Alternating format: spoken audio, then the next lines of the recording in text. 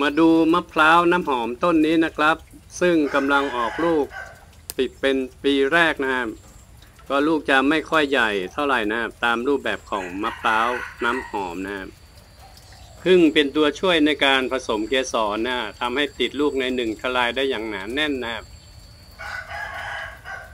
แล้วก็มีต้นเตี้ยๆแค่นี้เองนะครับสาเหตุที่มีลูก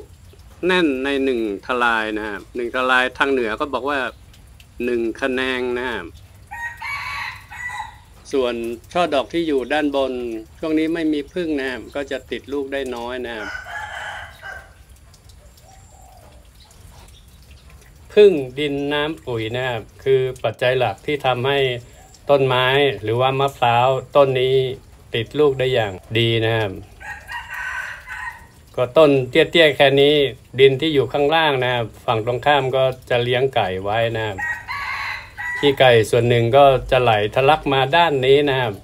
ก็จะทำให้ต้นไม้ที่อยู่ด้านนี้นะครับอย่างเช่นน้อยหนานะหรือตั้งเหนือห้องบาน้อยแน่นะครับ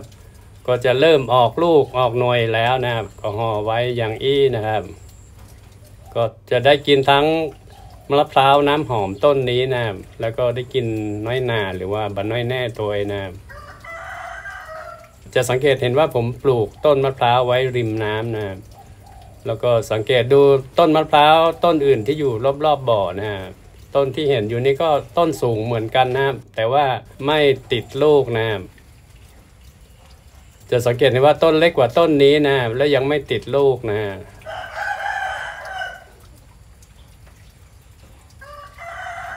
แล้วก็ที่สองสามต้นนี่เป็นมะพร้าวไฟนะครับก็ยังต้นเล็กอยู่และยังไม่ออกลูกเหมือนกันนะครับก็มีปลา มีมะพร้าวนะครับแล้วก็มีผลไม้กินรอบๆบบ่อได้นะครับถ้ามีพื้นที่ก็ลองทำไว้นะครับขี้ไก่ผมคิดว่าเป็นปุ๋ยได้อย่างดีนะครับก็สังเกตดูมะพร้าวต้นนี้นะครับติดลูกได้อย่างค่อนข้างดีนะครับแล้วก็ มีลูกแน่นนะครับ ก็เคล็ดลับอย่างนี้ก็นำมาฝากท่านผู้ชมนะครับถ้าใครมีโอกาสก็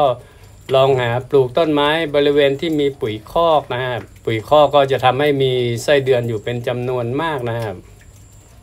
แล้วก็นำมาตกเบ็ดหรือว่าตกปลาได้นะครับก็ดินดีก็ต้องมีไส้เดือนนะครับเพราะว่าขี้ของไส้เดือนเป็นปุ๋ยอย่างดีนะครับ แล้วก็ไส้เดือนก็นำมาตกเบ็ดหรือว่าเป็นอาหารสัตว์ แล้วก็ให้ปลาในบ่อได้นะครับ ก็คลิปนี้ลาท่านผู้ชมไปแค่นี้ก่อนนะครับ ขอบคุณครับ สวัสดีครับ